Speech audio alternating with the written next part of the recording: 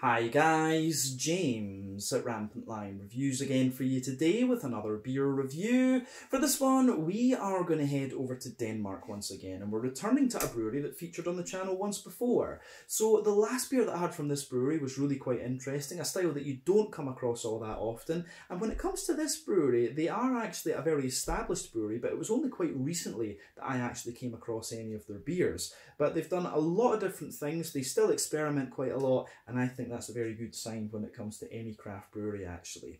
But the beer we're going to have a look at today is a style that I haven't tried from them before. It comes from a series of beers they do that is quite interesting and this was also a recommendation from the guys at Beer Hive Amager in Copenhagen, who supply pretty much all of my Danish beers. It's also one of the stronger beers that these guys seem to do, and it's a style that I've had very good experiences with when it comes to Danish craft breweries before. So, needless to say, I'm very curious to see what this one is going to have in store for us. Hopefully, it's another good beer. Hopefully it makes for an interesting review, and as always, I hope that you guys enjoy my take on this one as well. So uh, yeah, for this review then, we are going to head to a little place called Nordby on the island of Fanø, which is just across the water from Esbjerg on the Jutland Peninsula, the part of Denmark that's attached to Germany, and we're going to have a look at my second beer from Fano Bryghus. So this beer comes from their Danish Imperial series, which is a series of, you know, big, malty and quite strong beers that they do.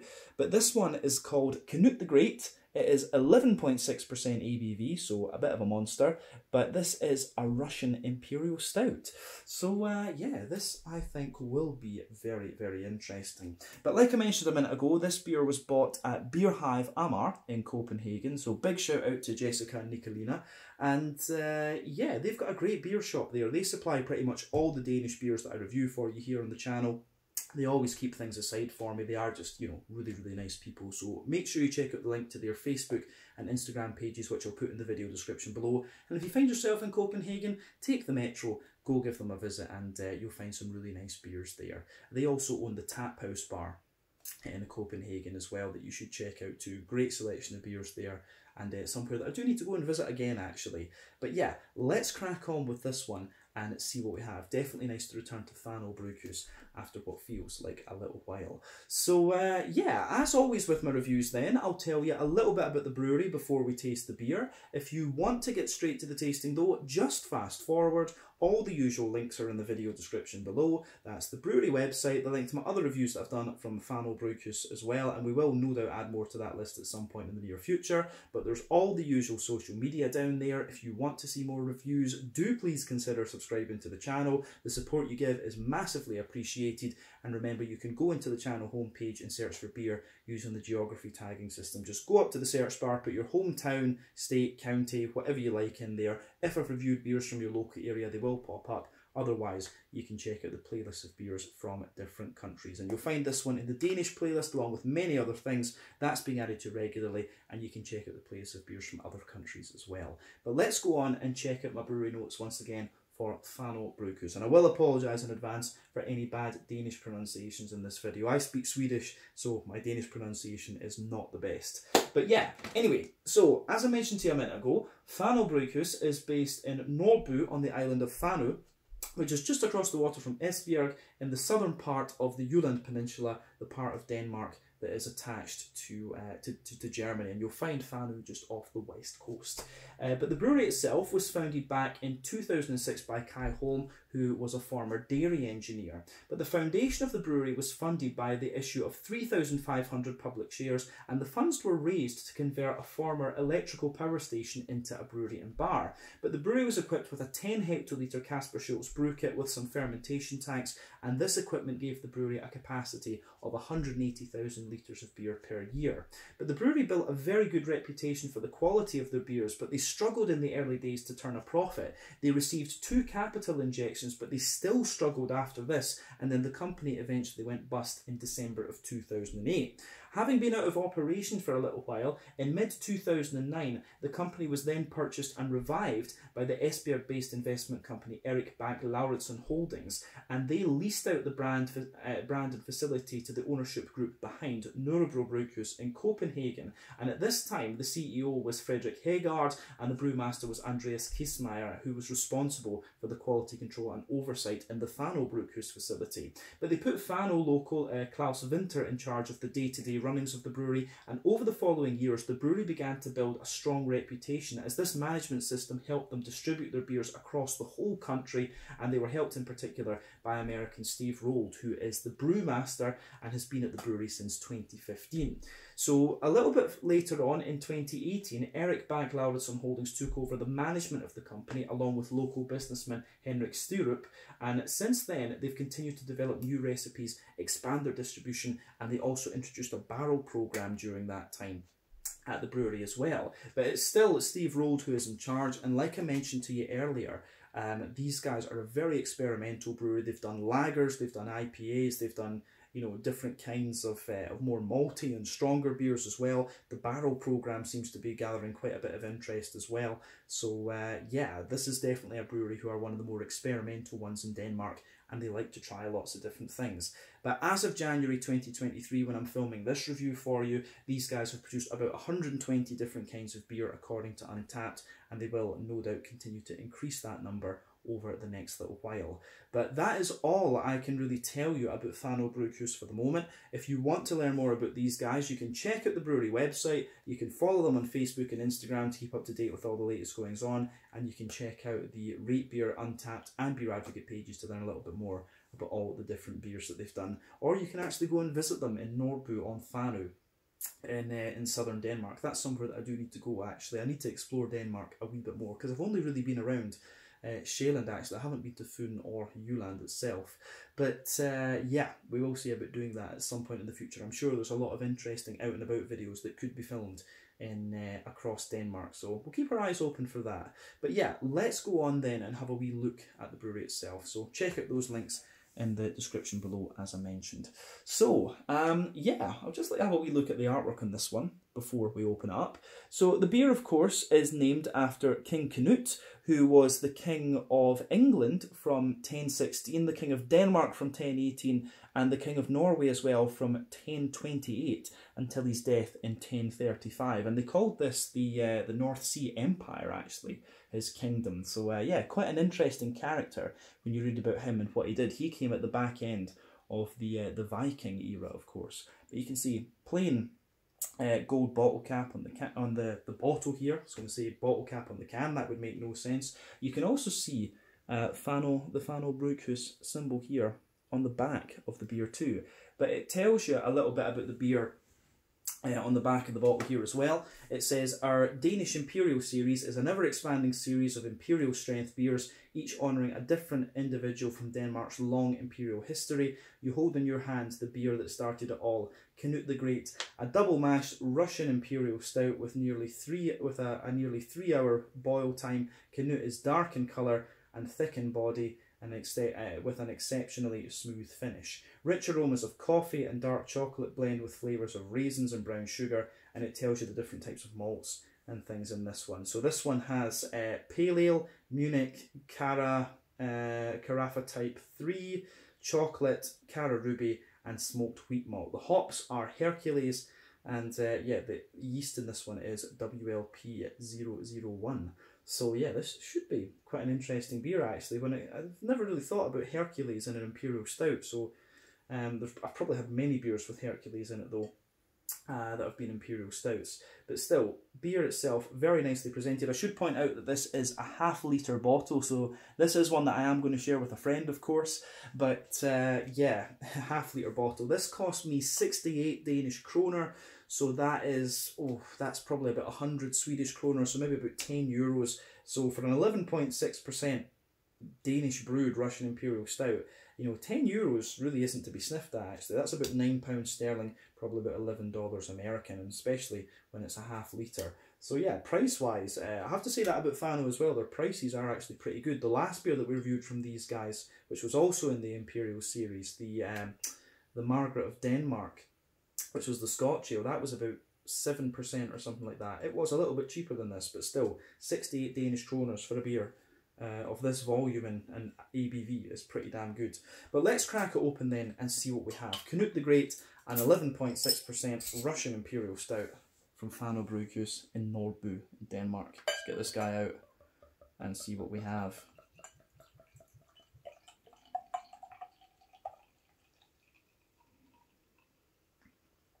I think that'll do for the moment. So we've poured maybe about two thirds of the bottle into the glass for the moment. And I can tell you just from the little whiff I'm getting of the aroma already, I think this one's going to be pretty damn old school. So uh, yeah, before the head disappears then, we can see that um, this beer poured with about a one third finger of a frothy, I would say kind of mid tan head there. You can see some nice kind of medium sized bubbles if the camera's going to zoom into it, see some nice mid-sized bubbles there. Uh, and a few little ones just toward the top of that. That is, of course, going to fade away rather quickly to be a thin foamy layer on the top and a thicker ring just around the edge of the glass. But uh, yeah, it has poured pretty much as you would expect from a Russian Imperial Stout. So one or two big bubbles sticking toward the side of the glass. You can see a few little ones creeping up toward the surface there. There's a few little wisps on the underside, uh, on in the middle of the head there but overall it looks pretty damn nice. Um, so yeah, I do like how it goes, how this one goes together. But remember, the colour of your beer depends on one, the type of malts that you use. This goes a long way to determining your EBC rating. Two, length of your wort boil is also going to play a role because the longer you boil the wort, the more the sugar is caramelised and thus you get a darker colour of beer. Any barrel aging that you do or any adjuncts that you put into the beer as well will affect it too. But when it comes to a big imperial stout like this, the latter two variables are not going to play much of a role. When you have black malt in there, such as, you know, Carafa and things like that, it's not going to, you know, aging it in a barrel is not going to do too much to the colour. But with this beer, um, as you can see, it's it's a lovely kind of dark ebony rosewood. And if you put the light through it, you can see it's got a little bit of a kind of Coca-Cola, Pepsi Max um, coloured edge to it. Maybe a bit of a very dark chestnut. But yeah, not much in the way of visible carbonation with this one you can just kind of see that it's um, got a little bit. It is actually a little bit clear. This one. It's certainly not the uh, uh, like one of these ones that's completely opaque, you know. But usually they have a little bit of wheat or oats in them as well. I think this one is all barley malt, apart from the, the smoked wheat malt that's in there, of course. So yeah, nothing overly surprising about this beer in terms of its appearance when you consider what style it is. I think we should take a wee look at the aroma and see what this one's going to have for us. So let's do it.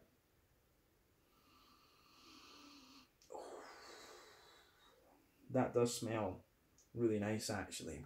Um, first impression of this though is that it is actually very old school. You can smell that this is ni- that this is really proper old school. But I mean, we've had some really, uh, we've had some really interesting uh, imperial stouts from Denmark over the years. Probably my favourite one would be the Herr Frederiksen from uh, from Amager Bryghus. That's still a classic. The Caribbean rum stout from uh, Hornbeer as well was always a classic one. Um, uh, Black Hole from, uh, was that To Øl or was that Mikkeller? Uh, but yeah, you know, To Øl and Mikkeller have done some really interesting Imperial Stouts over the years as well. And for me, those are kind of cult classics. But this beer is really nice actually. But I will say that in terms of aroma, it's actually one of the sweeter Russian Imperial Stouts that I've come across. It's got a good little bit of red fruity character to it as well. Um, yeah, aroma wise, it's pretty nice. So, um, on the, um, uh, as I say, this one's it's quite an oily and just fruity uh, Russian Imperial Stout, this one, and it's actually quite slick in its malt base too. So yeah, in terms of the, um, yeah, in terms of the malt base then, we'll break this beer down and describe it. Um, we'll break this beer down and describe the aroma a little bit more in depth as we always do. But the backbone of this beer, you can absolutely smell a little bit of a kind of, um, you can smell a little bit of a toasty, well-fired bread crust in. There's a little bit of woodiness, actually. Um, so yeah, you've got a little bit of woodiness in there, in the backbone. You've got a little bit of toasty, slightly well-fired bread crust too. There's one or two little nutty elements in there also, actually, which is quite interesting. So yeah, woodiness, toasty, well-fired bread crust, a little touch of nuttiness, And then you start to get a few different kind of brown bready uh, notes out of this one. So there's a little bit of sweet rye bread in there, and then a wholemeal brown bready character as well. And you can also smell, um, within that kind of bready note there, within the sort of brown bready character, you can pick up the sort of smoke uh, out of this one too. Smoked wheat malt. It's quite interesting. But the bready notes in this beer are actually quite um, they're actually quite wet. Like the bread to me just smells really, really wet more than anything else. So yeah, you can get the smokiness in there, and it's actually a little bit of a more kind of meaty, smoky character that you get out of this one. So it has a little bit of that sort of uh, Maillard um, reaction to it. You know, when you, you get the little brown bits on the edge of a, a piece of meat when you sear it, it's kind of like that. So definitely a wee bit of that going on in this one. You also have the um,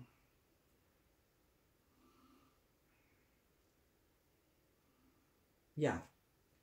So definitely a good little bit of, um, as you say, definitely a good little bit of that kind of wet bready character in there. Above that, there are little elements of chocolate coming out to this one. The beer does have a little bit of a kind of dry chocolatey character to it. You know, you can pick up that sort of cocoa nibby thing, and I would say that that's maybe about 60% cocoa. Further forward on the nose, you do get a more milky chocolate out of this one, like a sort of 30% cocoa chocolate. Um, the beer has a little it's got a little underlying of like a christmas pudding uh, sort of christmas pudding kind of phenol type thing going on. So that's that's definitely quite interesting for me. Um yeah. Yeah you've definitely got this sort of phenol type thing going on actually which i quite like. But um yeah Above that, you do start to get some of the, the brown sugary notes out of the beer. It's got a little bit of a leathery brown sugary character to it. And then you've got, you do have a little bit of toasty caramel and a wee bit of straight up sweet boozy caramel in the middle of the nose too. Of course, the complexity of this beer is when, when we actually taste this thing, I'll bet you anything that the most complexity of this beer is in the middle uh, of the palate. But you can smell a little bit of everything with this. It's actually quite a sort of phenolic cakey Russian Imperial Stout. Definitely comes across as very smooth um, and quite sweet in its fruity character. But yeah, I think we've covered the malty and sort of yeasty side of this beer in that description. The hoppy side of things for me, um, you do get a little touch of earthiness out of this one, but it's quite a smooth earthiness. Hercules, of course, is, if I remember rightly, it's about 7% alpha acid. It's a German noble hop, of course. So it has that typical smooth German earthiness to it. But you get a little bit of herbal character and also a wee bit of a floral aromaticity, but quite a bright grassiness. For me, German noble hops are characterised by that bright grassy nature that they have. So you definitely get quite a little bit of that in this one. And if we sugar the beer up, on the fruity side of things, um, I get quite a little bit of a raisiny sharpness out of this one. We sugar it up. Definitely some juicy plums in there. Like I said, this beer has a little bit of that kind of uh, phenol type thing going on with it as well. You've got a little bit of that phenol, sort of Christmas puddingy type vibe to this beer. So raisins, plums, bit of phenol, and then you have, um, and then you also have that little bit of um, kind of, you've got a little bit of figgy note in there. You've got a little bit of blackcurrant, and you've also got some wee blackberry type qualities coming out of this beer too. So um, yeah, the way this one goes together, I think, is is quite interesting. But like I say, really quite a fruity Russian Imperial Stout. The malt base is quite cakey and quite phenolic, but you have got everything else that you expect of it.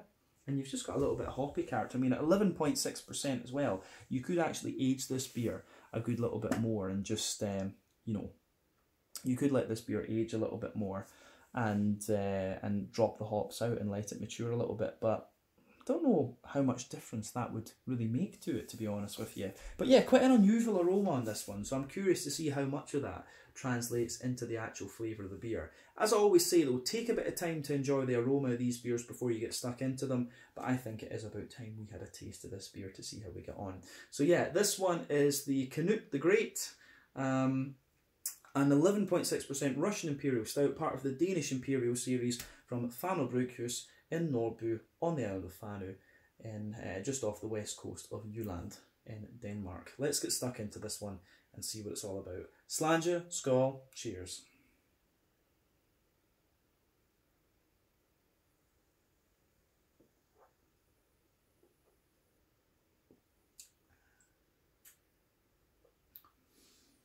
Yeah. I'm going to say straight away, um, this is one of these beers where the aroma varies quite a wee bit from the actual flavour you get out of it. I have to admit, I was a wee bit worried about this beer with the the fruitiness and the sort of phenolic nature that it was showing in the, the aroma. I thought, has this oxidised a wee bit? Has this bottle been, you know, has the cap come off very slightly and the beer's oxidised a bit? But no, there is just a bit of difference between the actual flavour and the aroma in this one. But I will say straight away, this is like quite an old school, authentic Russian Imperial Stout. This one, it gives you everything you want. You've got the bit of the you've got the roasty toasty backbone in there. You've got the complexity in the malts. You've got the wee bit of hoppiness, and you've got the fruity character. So yeah, the way this beer goes together is pretty damn nice. So a thumbs up to uh, to Fano Bryghus for this one.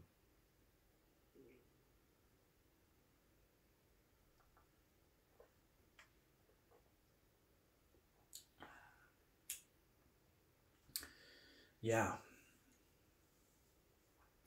This is good. I will say that this this one's got a really nice aftertaste, but like I say, um, a lot of the stouts you'll find out there these days are like you know these pastry stouts, and uh, just I'm, I'm not as great a fan of these these uh, beers as I am of the old school RIS, these the imperial coffee stouts, or even a nice imperial milk stout. But I have to say here, Fano Bryghus have done a pretty damn nice job of this. This is a properly nice old school, uh, just RIS this one. So if you like that, you will enjoy this beer. And it's one of these ones that's actually very smooth, and the flavours within it are all actually quite subtle. That's one of the things you have to let this beer kind of develop and sit in the glass a wee bit and just open up. It's one of these beers like that. So just be prepared with this one to let it kind of do its thing. But it is very nicely done.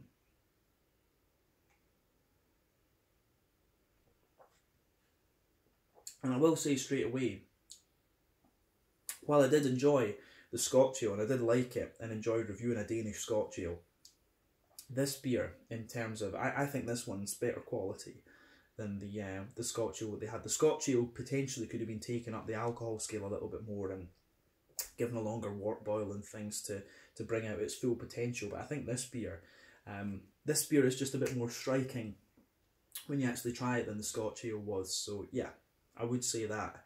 Uh, given the choice, I would recommend you go for this one over the Scotch ale.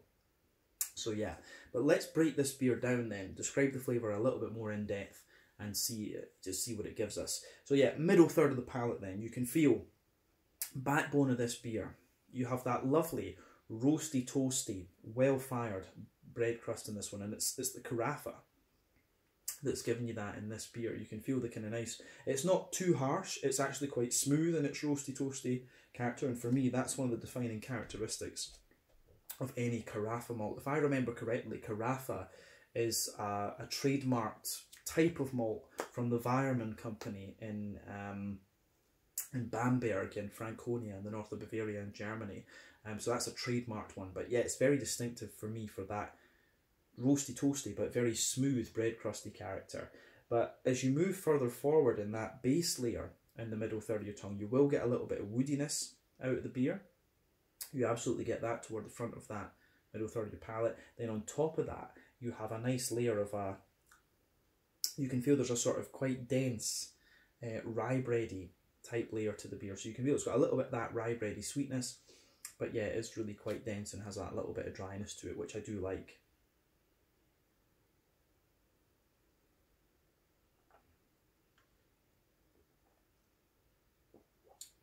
So yeah, that is quite nice.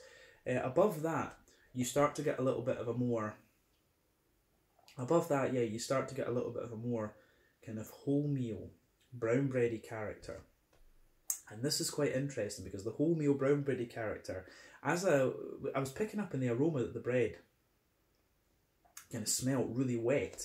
And the bready character within this beer really does feel wet, but you can feel that toward the uh, front toward the front of that um, well, actually, throughout that whole wholemeal bready layer, there's a little bit of smokiness in there too. So yeah.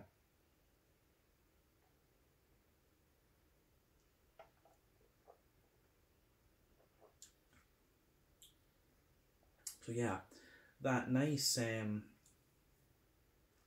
yeah, that nice smokiness that's in there is um, really just penetrates the whole of that um, that kind of wholemeal brown bready layer, and toward the front of that middle third of your palate, in that layer, you do get a little touch of nuttiness uh, in there as well. So that's quite interesting. Above the wholemeal brown bready layer, you can feel um, that the, the that's when you get the kind of chocolatey part of the beer. So you can feel there's that little bit of toward the back of that middle third of your palate. On top of that, you have a sort of 70-ish percent cocoa chocolate. You can feel it has that really dark, more cocoa note as you go further back.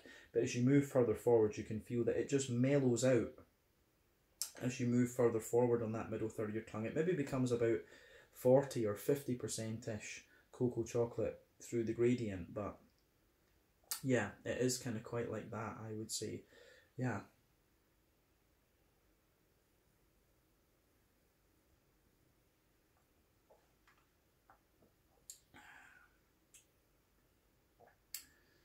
Yeah, the um I would say that the on top of that kind of dry chocolatey layer, you've then got the brown sugars so the brown sugars come in a sort of slightly bigger circle across the middle third of your palate. You can feel that there's a layer, or you can feel that there's a layer of um, sort of more leathery uh, brown sugar in there. But then as you go more into the middle of your palate, it becomes a little bit more oily and caramelly. This beer doesn't feel as if it's like double mash or anything like that.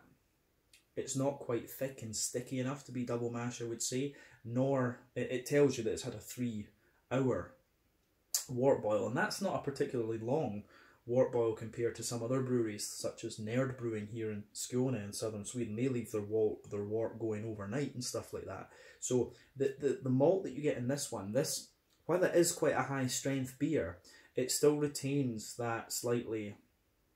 It doesn't kind of go overboard if that makes sense, and it retains that little bit of a thinner character that that makes it more authentic toward the the original uh, style, if that makes sense. That's how I kind of view this one. Is that this is this is like a more kind of proper old school Russian Imperial Stout. This one than being rather than being a more modern take on it actually.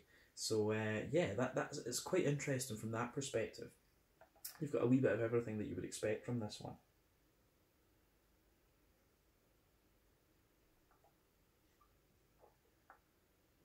But yeah, I think that's everything that we need to say about the um, I think that's everything we need to say about the, the middle third of your palate in this beer. The only other thing I could add is that you maybe get a little bit of an almost like tobacco-y type flavour uh, in the middle of your palate that, that builds as you come. It sort of comes out a little bit more the further into the aftertaste that you go with this one. I've never smoked tobacco in my life, I will point that out. But the flavour you get, the, the sort of little aftertaste flavour you get from this beer um, reminds me of the smell of, to- of tobacco, which we used to use a lot in the lab for learning toxicology. Just it really has a little bit of that. Uh, the, the flavour of this beer in, in the aftertaste reminds me of that aroma for sure. But yeah, uh, on top of the, uh, uh, other than that, I think we should move to the back third of the palate then. So the border region between middle and back third of your palate, again, you get a little bit of that bready build up in there. It's quite a toasty, well fired bread crust that you get there, but the back third of the palate you can feel really roasty, toasty, well fired bread crust. Um, it's a bit drier, of course. Remember, more bitter and dry flavours come out further back on the palate. Sweeter flavours come out further forward. Then you have that layer of uh, of rye bread, and the rye bread is a little bit taller, a little bit more airy, but still quite dry. Then you've got the wholemeal bread layer, which is even more lighter and more airy and taller. So yeah, you've got these really nice airy bready characters in the back, um, in the back third of your palate there, which is nice.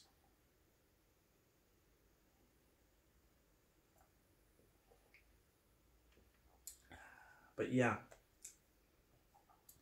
above all of that, you do get a few more yeasty characteristics out of the beer. There's like a very light, almost kind of farmhousey and woody brown bread there, a little touch of honeycomb and stuff. I always get honeycomb uh, from the yeasty characters of the beer on the back third of your palate. But yeah, you can feel all of this above. You can feel all of this above the um, above the uh, the back the back third of your palate. And it's quite nice actually. This beer does develop a little bit of sweetness the further into the aftertaste that you go, so that's worth paying attention to. But yeah, back third of your palate, you can feel the flavour is taller. Then as you come further forward into the middle third of your palate, the flavours just condense down and squash together that wee bit more. So yeah, onto the hoppy side of the beer then. Back corners of the palate, you've got a nice little bit of earthiness in there, and the earthiness is surprisingly prominent in this one. But as you move further forward from that, you've got a little touch of herbal character, but it is quite smooth. You know that's typical typical characteristic of uh, of noble hops. But as you push further forward, you've got a little bit of floral aromatic brightness in there, and round the front curve of your palate, it's a little bit lighter and more kind of grassy. There's a little touch of zestiness. Of course, like I said, you could age this beer for a little bit longer, and no doubt those hoppy characteristics from the green component that I'm talking about would, um, pardon me, they would drop out of the beer a little bit more. But uh, it's up to you if you want to do that. You can get this and, and do that if you like, but I think it's still pretty good as it stands. Um, so yeah, Let's move on to the fruity side of the beer then to kind of round off the tasting section. So border region between front third and middle third of your palate. Again, you get a little bit of a kind of bready build up in there. It's a kind of brown bread, but it's got a little bit of the kind of carafa, roasty, toasty, well fired sort of thing. And the base of that front third of your palate, again, a little bit of smooth bread crust, a little bit of wholemeal brown bread, and you've got that nice oily bubble where the juicy fruity esters just uh, roll their way out of the beer. So yeah, I like that with this one too.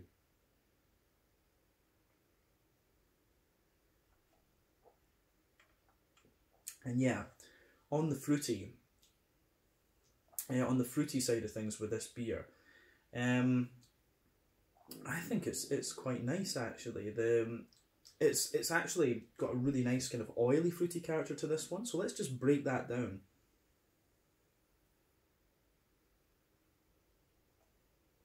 So yeah, when you take the beer in, you get a nice little bit of a raisiny sharpness in there. Underneath that, there's a little bit of a more kind of oily, plummy character out of the beer. And then, um, as you move further, it's quite a straightforward shoot. Um, it's quite a straight shooting fruity characters. Yeah, a bit of raisin, nice bit of juicy plum. As you move further forward into the middle of that front third of your palate, it's definitely more figgy. and there's a bit of black currant in the base of that uh, front half of the front third of your palate. Above all of that, you've got a little bit more of a kind of you've got a little bit more of a kind of blackberry uh, type note out of this one. But the thing that lingers there into the aftertaste, you do get a little touch of that kind of cakey phenol uh, type quality to the beer, a little touch of that Christmas puddingy sort of thing, particularly toward the back of the front third of your palate there. So there's a little bit of that going on. But as I say, um, raisins, plums, fig, blackcurrant, and a bit of blackberry. That for me summarises what this beer is uh, is all about. So yeah, we'd absolutely say that.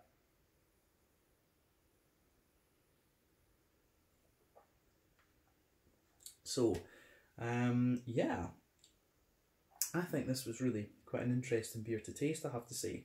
Um, proper old school Russian Imperial Stout. The fruity side of this one's quite nice, but it does mellow out a wee bit the further you go into the aftertaste, and you get a few more kind of cakey elements coming out of it too. But to round off uh, and explain the mouthfeel of this one then,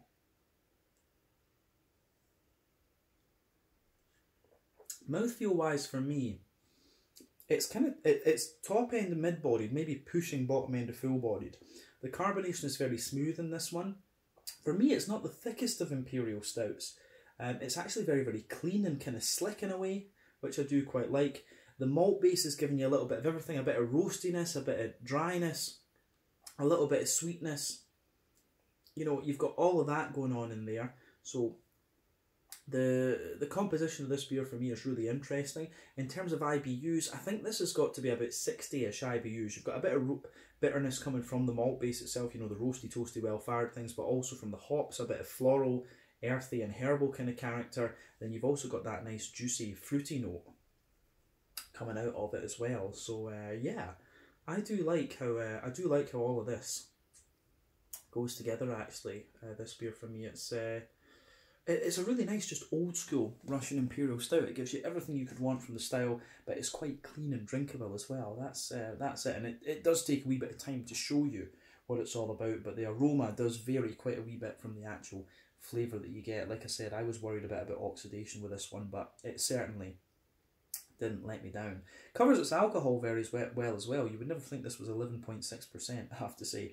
Dangerously drinkable. Um, but yeah, that's Denmark. They love a, a nice heavy uh, dark beer, I have to say. So yeah, I think we can round off there with that one.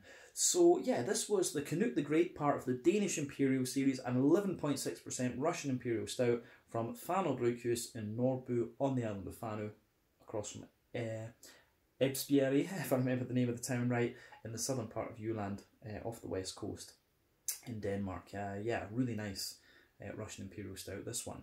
So yeah, once again, thank you for watching my beer reviews. Until the next time, please like, subscribe, share, all the usual YouTube stuff. Let me know your own thoughts on this beer in the comment section below. Let me know what your favourite beers are from Fanø Bryghus as well. We will see about returning to these guys uh, soon. We'll need to try an IPA and a lager from them now that we've tried two big malty things. But uh, yeah, we'll keep an eye on what these guys are doing and see what uh, Jessica and Nicolina get in at uh, Beer Hive uh, Beer Hive Amager in Copenhagen. But yeah, really enjoyed reviewing this one, and uh, I hope you guys enjoyed my take on it as well. But until the meantime, uh, until the next time, thank you for watching. Check out my social media. Check out Fanø Bryghus social media. Do check out Amager. Uh, Beer Hive Amager as well, and I'll see you guys in the next review. Sláinte, Skål, cheers, see you soon.